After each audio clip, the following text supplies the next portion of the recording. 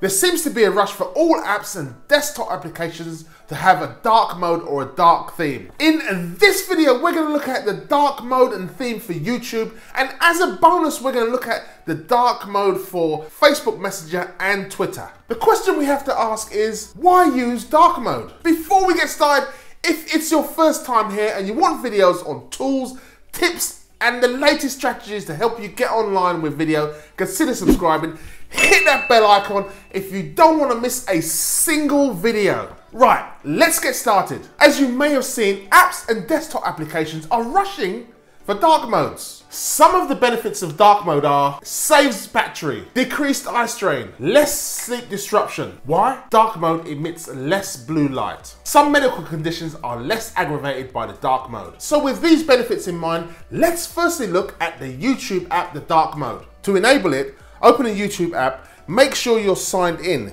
Tap on your profile pic on the top right, then tap settings, toggle on the dark theme here. Dark theme activated.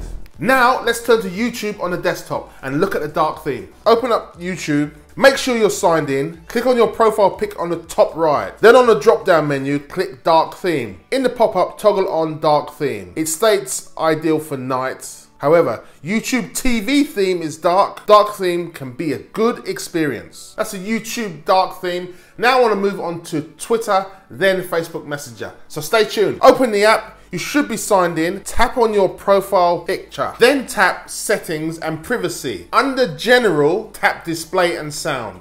Toggle on dark mode. Then tap lights out. You should now be in dark mode. So that's Twitter. The last dark mode we're going to look at is Facebook Messenger or Messenger as it's widely known. At the time of watching this, Messenger may already be out of developer mode, which it currently is at the time of recording. How to activate it in developer mode is to send someone a crescent moon, which is this here on the screen here. Send someone just a crescent moon in a message. It will rain down crescent moons in your message window and also the recipient's message window. It will rain down crescent moons.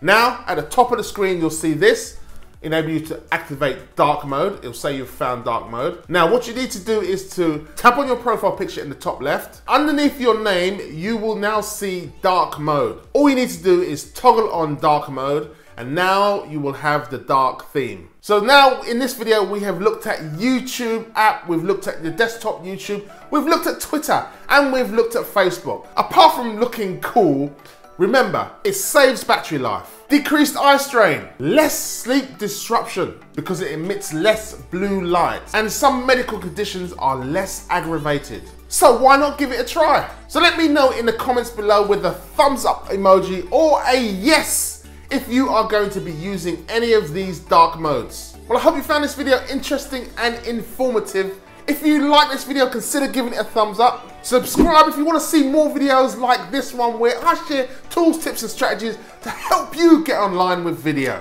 Thanks for watching. Before we get started, if it's your first, start again. Before we get started, if it's your first time here and you like videos like this one on, and you like videos on tools, tips and strategies on how you can get online. If we, so stay tuned. Hey.